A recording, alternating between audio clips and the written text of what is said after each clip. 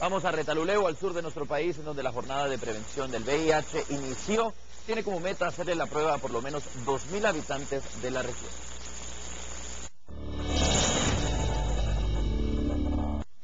Con el lema, no importa quién seas, hazte la prueba. El área de salud de este departamento está llevando a cabo la semana de hazte la prueba del VIH-Sida, la cual estará finalizando el 23 de los corrientes.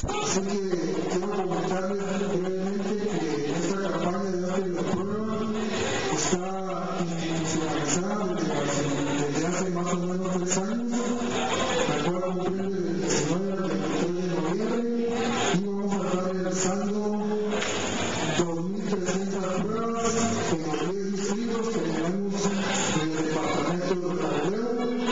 Este departamento es uno con más casos de VIH-Sida, ya que hasta el momento hay 709 personas infectadas con esta epidemia, por lo que se espera que se realicen las pruebas para evitar seguir contagiando.